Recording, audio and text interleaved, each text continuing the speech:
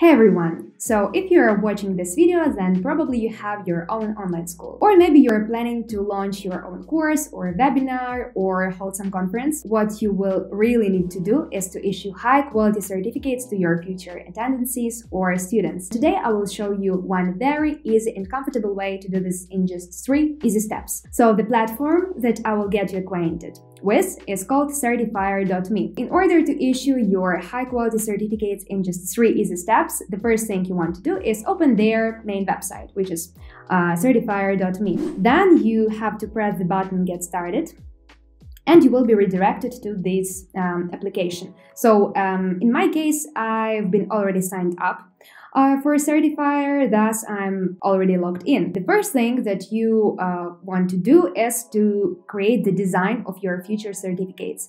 Then you will create the course that uh, you are planning to launch, and then you will publish your certificate. So let us start with step number one, uh, creating a design. So you have to go to the section called designs and press the button create design. Uh, then you will see this um, certificate builder. So you can either start with uploading your own background, maybe you have your branded background that you would like to use, or you asked your designer to create this background for you. But that is not our case. We will go directly to the templates section and use one of um, already pre-made uh, professionally design, uh, designed templates that Certifier is offering. So let us use, for example, um, this design and what do we see here? We see uh, that this design has three attributes recipient name, uh, recipient um, certificate issued on, so the issue date, and the expiration date.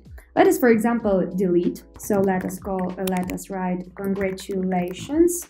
Um, you have successfully com completed the um, let it would be Node.js uh, course course.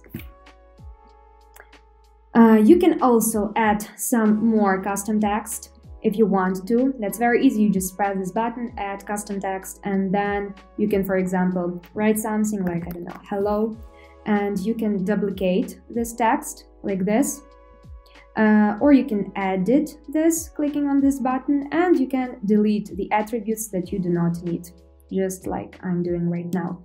Uh, then you can go to the section called images and for example add uh, the logo of your organization, but that is not our case. So you can also go to the section that's called attributes and for example, yeah, you can check what kind of attributes um, you are using if you cannot tell it just looking at the design or you can just add some more attributes if you would like to. For example uh, you can you can add the issuer name uh, and it appears here. Of course you can customize it so like you see that um, mm, all of the uh, attributes can be customized in terms of um, font in terms of color uh, and so on and so forth. So we will not use it you can also add certificate ID or the course name, but we will not do that. Uh, then the last thing that we want to do is to add the name of our design. So in this case, my personal recommendation would be to use the name of your course. So in our case, it would be Node. Save design. So now we have just successfully created our design, but it is not a certificate yet.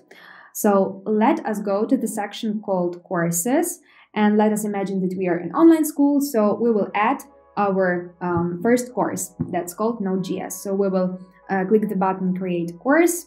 We will call it Node.js. Uh, the identifier, you can basically duplicate the display name, Node.js, and the certificate design. That's an important part. You have to match the design that we've just created, or like you have to match the design that you created to the course that you are planning to create. So in our case, that would be Node.js because we've just created the design that has the same name. And we press the button save.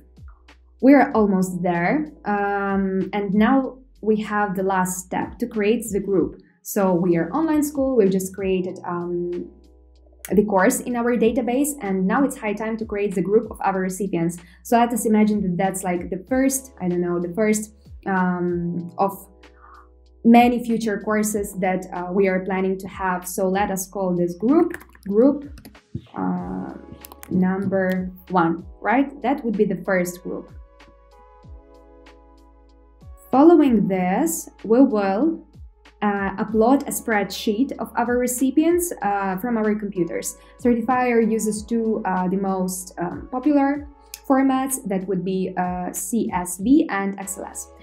In our case, I have pre-made demo document. And now um, an interesting part uh, begins.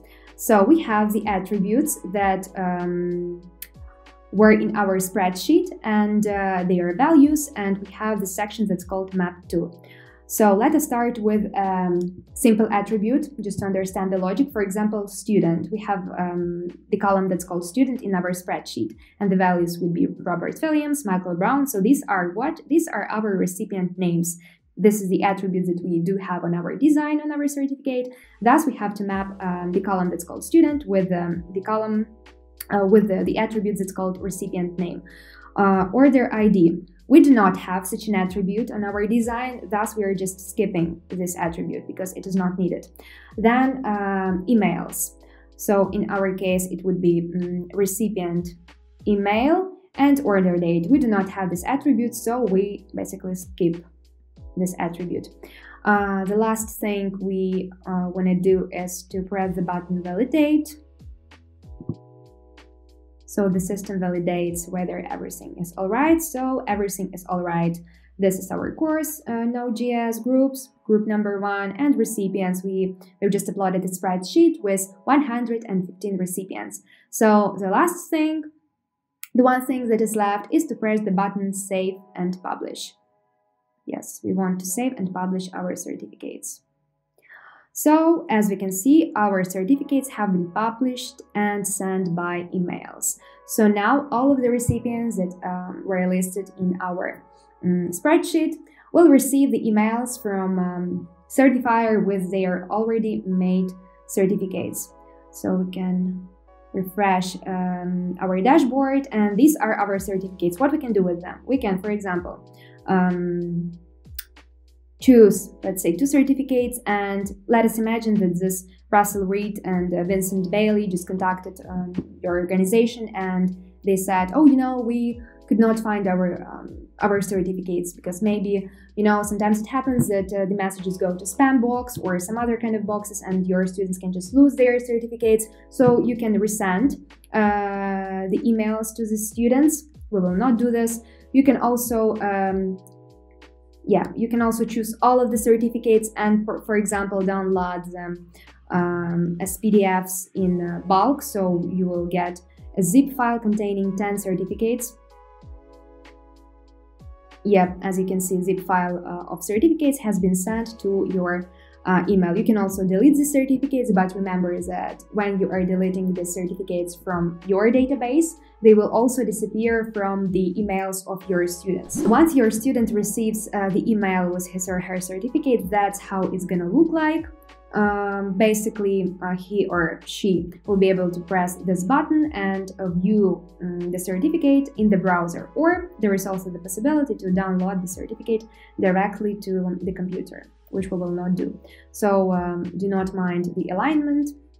That's our problem and we deleted one attribute from here just to show you that the attributes from the templates can be easily uh, deleted or added just the way you wish. As you can see, creating and issuing certificates to your students is not painful anymore. And this is all thanks to certifier.me. So thank you very much for watching this video and have a nice day. Goodbye!